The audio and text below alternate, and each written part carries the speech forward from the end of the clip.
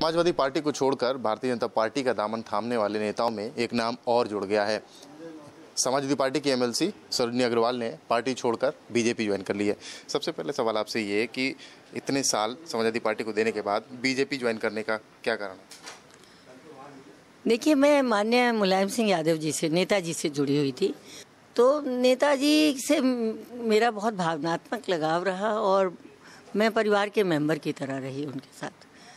तो अब जब से वो राष्ट्रीय अध्यक्ष नहीं रहे तो मैं उस बदले हुए परिवेश में मुझे बहुत अटपटा सा लगता था मेरा मन नहीं लगता था।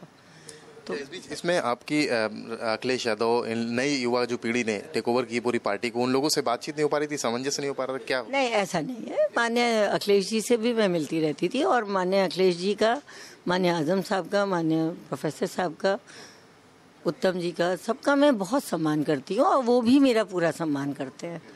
बस जो परिवेश बदला हुआ था, उसमें मेरा मन नहीं लगता था। सरोजनी अग्रवाल 22 साल समाजवादी पार्टी का झंडा बुलंद किया और अब समाजवादी पार्टी छोड़कर बीजेपी का दामन थाम चुकी है।